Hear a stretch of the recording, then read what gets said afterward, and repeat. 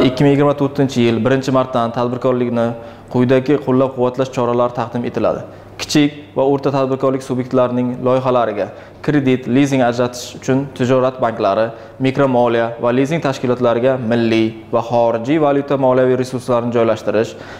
tijorat banklari mikromoliya va lizing tashkilotlari tomonidan milliy va xorijiy valyutada ajratiladigan kredit lizing va bank kafolatlariga umumiy qiymati 5 milliard so'mdan oshmagan miqdorda kafillik taqdim etish kompaniya mablag'laridan foydalanish bo'yicha tijorat banklari bilan tuziladigan vositachilik shartnomalariga asosan belgilangan limit hamda umumiy miqdor va shartlar doirasida kreditlar bo'yicha kafilliklar taqdim etish. 2024-2026 yillarda kichik tadbirkorlikni subyektlariga markaziy bank asosiy stavkasining 4 foizlik punkt yuqori va asosiy stavkasining 1.75 baravaridan oshmagan stavkada milliy valyutada 5 milliard so'mgacha ajratiladigan kreditlar bo'yicha asosiy stavkaning 40 foizgacha miqdorda 3 yildan ortiq bo'lmagan muddatda kompensatsiya taqdim etish